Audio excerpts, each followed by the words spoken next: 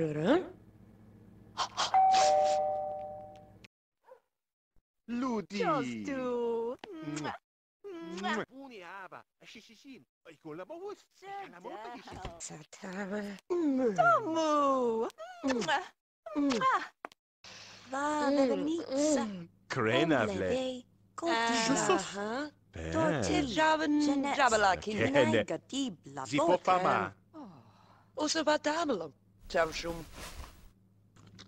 Torti, mm? shumnec. Hmm. Tumbe? Ma i gaba pa. Oh, Oren. Karë so balam. Te shkanë zi hmm, ekspati. Hmm, Tua morivi. A fa bedim. Orisha. Klar gas nuk no të heshis tuta. Eka.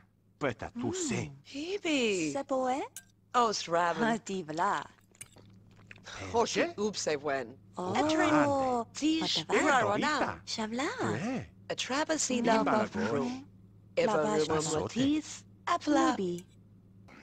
Hoje. Ah, che. Che. Ote. Do, mine va tuklave. Che. Isu vavi. É Gada. Dele É Rizal. E planto. Ela premonition. Rizal. Betasun. Eta huida. Cole. Lubrindin. Gole. Loja.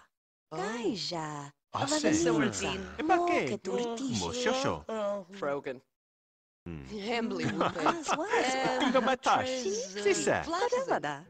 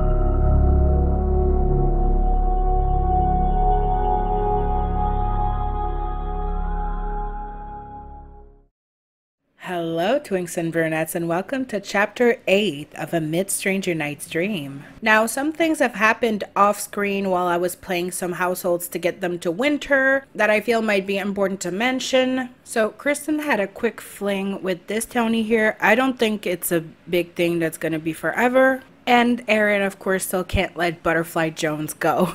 Chloe and Lola are both still kind of eh, like involved with Abhijit, which is a little bit weird, but it's okay. And Chloe's also gotten closer to Oberon, which is interesting, seeing as I picture him and Titania to be an open couple. There's nothing scandalous there.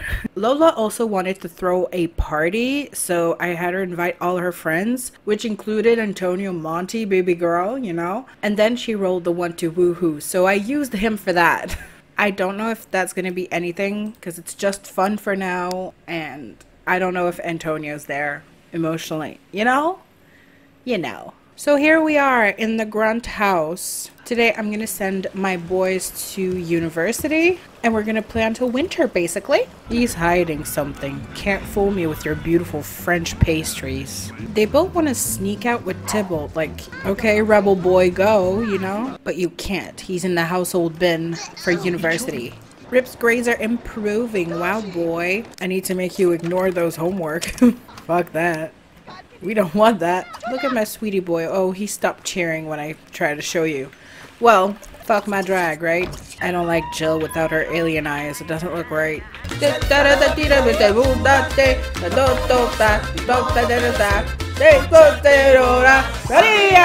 We're really vibing in this house while oh when General Buzz isn't here talking about the wolf. Here he comes.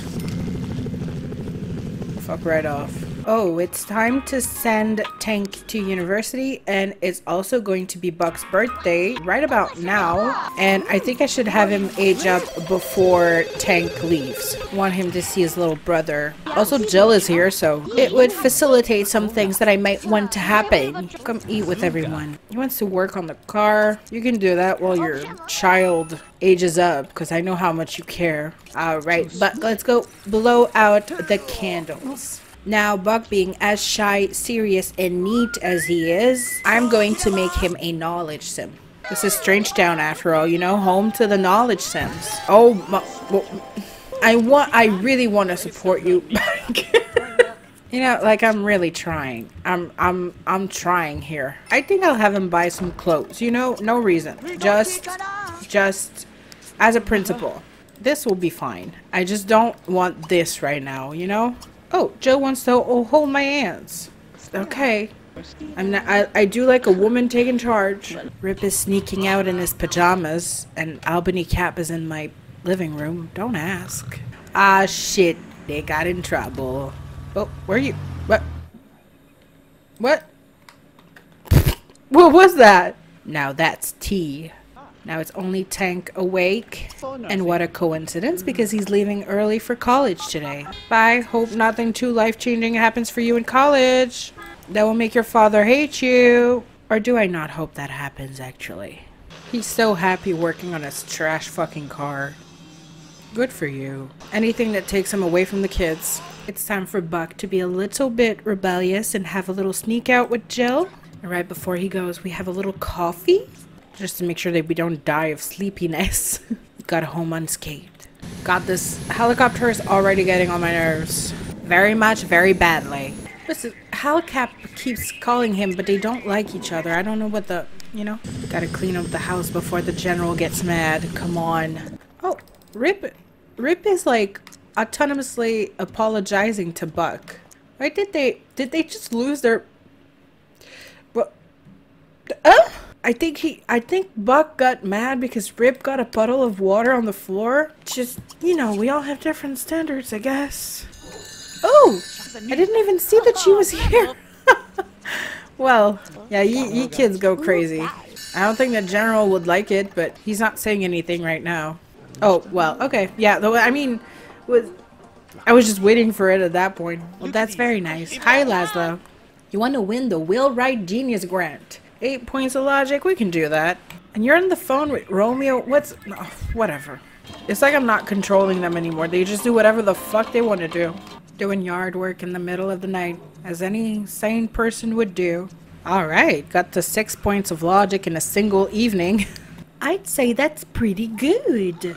Let's paint this beast this morning. Still looks pretty busted, but I'm gonna trust the process. oh, oh, well, would you look at that? It is now an awesome customized car, and I will sell it and put back the old junk shit again. We're making money, baby. Oh, Olive just stole my newspaper while cackling like a witch. Oh my god, Rip. Your grades are slipping. Whatever are we gonna do? Right.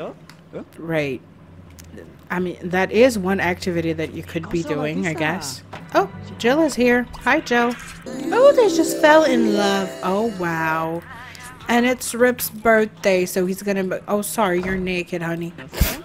so he's gonna be able to go to university. If he wants to go.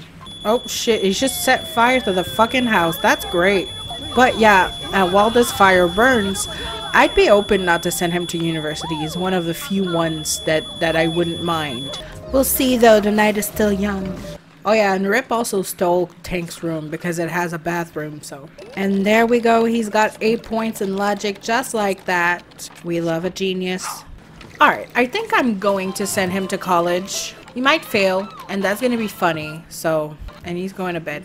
Good night, Buzz. I don't know how they get all these bushes to grow in the sand there. That's pretty impressive, to be honest. I feel that without Tank at home, Buzz kind of um, gave up on the sons he does have left. I think he knows there's nothing to do with Rip, and that Buck isn't the working out type. So he's taking it chill, you know, working on his car, doing lawn work, plotting. oh, he just made hot dogs. The great American food. gastronomy, some people would call it. Depends how good your hot dogs are, really. Some people oversell their hot dogs. He wants a cell phone this morning. Let's get him that. And it is now winter, so I can get the hell out of here.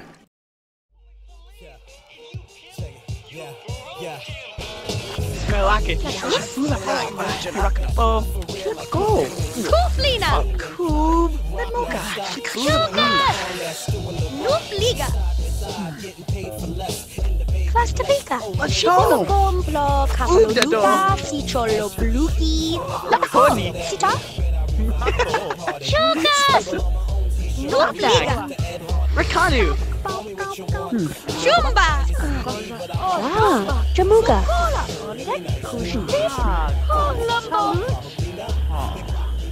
Kalogano.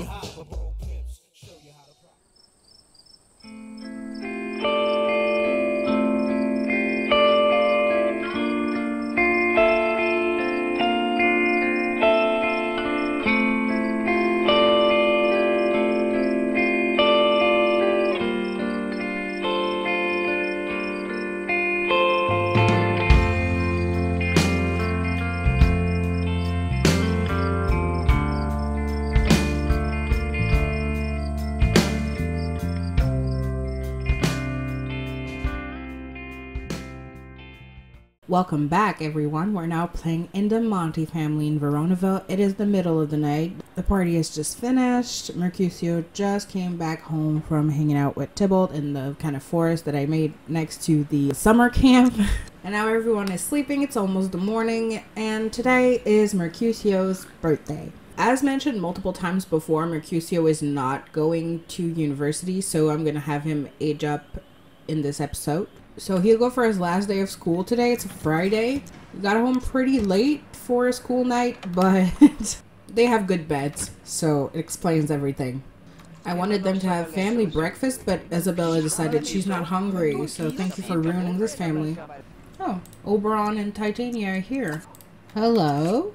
I'm in my PJ. Sorry for the the rudeness I've just done. We're gonna take care of the garden with Patrizio like we do every time because there's not much else to do. But at least there is that to do. I really feel the pressure right now. I have a fish. His name is Mercutio, and I should stop there, really. But he's going crazy. Like he's just swimming around his tank like ultimate 100 speed. So if you hear some splish splashes, that's Mercutio. Real life Mercutio, not this one. Oh, it's raining. okay, stop. That's funny. oh, that was not a good idea, Mercutio. I, I appreciate very much that you feel closer to him now, but you need to know, no, no, no, no, no, no, that's not okay. Your brother is going to fucking beat his ass. you can't do that. Not yet, at least.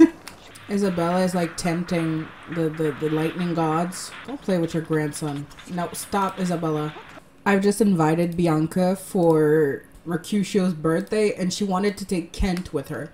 So now, first, Mercutio takes Tybalt from school and then she wants to bring Kent over. They're really, they're trying to give that poor man a heart attack is what they're trying to do. And look what he wants right now. You got me fucked up. Come on in quickly because we'll all die out here. Antonio is being a good son. He wanted to bring Lola with him, but I said no. You are not bringing your fling over to this birthday party right now. That's not a good idea.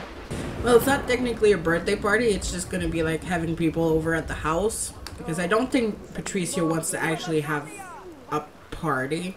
Somehow I don't think that's his style. Could be more of Isabella's style. Alright, and I think it's time for the cake. In all my years of playing The Sims 2, I have never seen the pre-made teens from Veronaville age up to adults. It it's the first time that I've ever had that happen. I've played Strangetown a little bit more than Veronaville, but I don't know. I'm really into it now, so I'm happy to be able to see it. You look cool as fuck. What's that outfit? You look like Romeo. What's that outfit? Alright, we need to change things up now. Oh, I like that. But I want him to keep like his little wavy.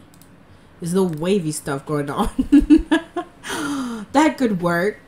That's a bit more of wavy stuff going on. I have this. No. I think I'm gonna give him this for now. It's just like he got his hair cut and now he's throwing it back because he doesn't know what to do with it. right. I think that's the new look. That's what we're going with. Oh, you like it? Good. and I don't know. I kind of like this outfit. Maybe it's his new adult vibe. I mean, I don't ask me why. It just is. He's allowed to try things. Romeo's decided to harm his grandmother. We all wish we could do that sometimes. What? I had Mercutio change his uh, lifetime what? Sorry, he's pissing. Oh my god.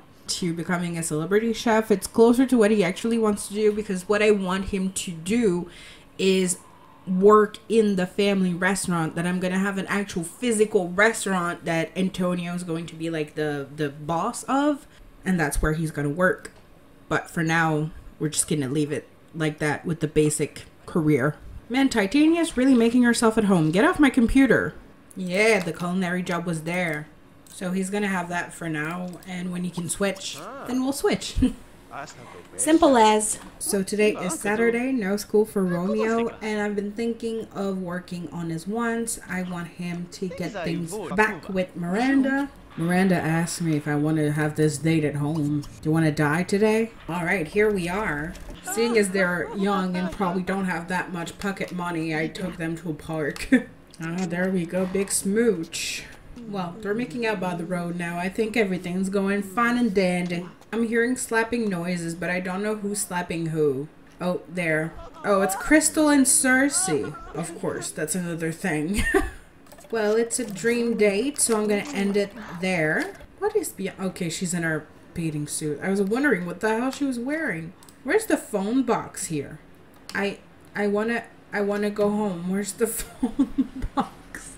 There it is. And when we get back home, it is Mercutio's first day of work in about 50 minutes. So let's eat your croissant very fast. There he goes. No uniform, just shows up to work like this. I mean, they won't mind. That's typical line cook, like, dress. I'm gonna try to remember to have Mercutio put all of his paychecks away because eventually he's gonna have to stop living in this ranch and I would like him to have some money. Well, I realized I didn't have an ACR adjuster in this house, and as soon as I added it, they decided that they were going to get at it. Which, you know, I mean, good for them. Are you done? Congrats. What this house really needs right now with all of these elders is a coffee machine. That has become invaluable to me. Oh, you burnt it? Well, no. You know what? We have higher standards than this, and it's not like anyone is starving right now, so start over, girly. Make us proud. Yeah, there you go. There we are. Now this, this is a life. Ooh, you've been promoted. Hi. Hi. this feels so weird. He's too big. You're too big. It's not right. I think I'm watering them a whole lot for cacti. Like, that cannot be good. Ooh, someone is calling for Mercutio. Oh, it's Benedict. Hi. I'm gonna put that away in Romeo's inventory quickly before anyone else sees it. He's done watering his garden. Beautiful stuff. Oh, wait. I was looking through his relationships to see who he could call. Romeo, that is. And I've just realized that he doesn't have any, like, hatred for Tybalt anymore. That is very interesting.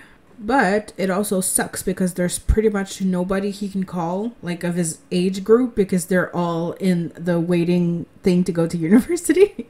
oh, that's a cool outfit you have on. We're turning around hot dogs a lot this episode, and I love it. So it's Romeo's birthday at 6 p.m. tomorrow, so I'm going to send him to university because yes, Romeo is going. Not sure he'll stay the whole time, but he's going. And also, congratulations, my man. I just realized that I've never seen Claudio or Olivia out. In the cat manor, Cordelia's out every other night breaking my fucking lamps. Alright, last day of school for Romeo. This is all very exciting. He's talking to his grandma about death. Pop. Okay. I don't know what, what, what it, it was exactly that he was trying to bring up, but I don't think it went the way he wanted it to go. Bye-bye, Romeo. AJ? Okay, yeah, he's available. Weird, but okay. I'm not going to record my cap round with Albany and Miranda and all of that because honestly, I don't think anything's gonna happen in it. But I'm gonna show you the little bit at the end where we see um, Goneril and Albany's fifth and last child. The baby is born. The child is alive. the child exists, and Goneril is gonna ship it off to Albany as soon as the round is over. So I'll show that, and then I think that's going to be it for the video soon enough. As soon as Romeo comes back from school, I'm going to send him to university. As soon as it switches to winter, it's baby teasing time. Okay, Romeo is back from school and he's smelling the cacti. I don't know what you're hoping to smell there, buddy. But it's time for you to go to college. Look at him strut his stuff. He's going to wreck so much havoc. Oh, and of course I've completely forgotten to have Mercutio put his money away. I think he should deserve a chunk of money from his parents passing. So I'm going to have him start with a 5,000 and then I'll add his paychecks to that. I swear. I mean, it must be so boring to live with these two old asses. Like, alone now too? Alright, it's winter, so it's gonna be it for this household. Also, I think I'm gonna remove winter from Veronaville and Strangetown. I don't find that it makes a lot of sense to have winter to begin with. I think I'm gonna start talking in terms of first season, second season, third season, and fourth because I am going to make this spring and this summer again. So it's going to be summer, fall, spring, and then summer again. So there's going to be two summers in a row. And I'm going to do the same thing for Strangetown. Like, of course, there can be a colder period of the year, but I don't think there should be heavy snow or like very cold temperatures. Okay, so here is the baby teasing. Don't judge my the hard time I seem to be having juggling with the camera. But here he is. Looks a lot like daddy. It's little daddy's boy. It's a boy. And his name is Marganus because I looked up and they they do Goneril and the Duke of Albany do have a, ch- a, can, canonical child and his name is Marganus. So that there you go. That's his name. And you see Miranda passing by with her new purple hair. Desdemona aged up. I kept her very ethereal, very f- like fairy like look going. And look at this braid in her hair with the flowers. It's perfect for her. I'll also age up and I'll let you guess who he's trying to emulate, who he's like the, the biggest fan of in the family, I guess. The Hal is our new attack dog. Ariel is a child also. I kept her pretty androgynous, kind of like disheveled look going that she had as a toddler. And last but not least, I'll show you Miranda up close. She's sleeping on the couch. Poor thing. Yeah, change her hair, change her glasses, change her clothes. I think she looks a lot cooler like that. So thank you all for watching again. I know these videos are few and far between. They take so much longer to make than I thought they would. I'm extremely sorry for that. I really hoped to be able to push one out like every two weeks, but if I want to make other videos in the meantime, that's not possible, unfortunately. But I hope that it's still fun for you and that you still enjoyed this video. As always, I love you and I care about you. Please follow me on all of my social medias. They will be linked down below, as well as my Ko-fi if that is something that could interest you. I've been going through a really rough patch lately, and I want to thank all of my recent donors 1,000 times. Like, I am so infinitely grateful. I don't even know how to, like, put it in words. And as always, sleep tight. Don't let the Bud Light bite. Bye.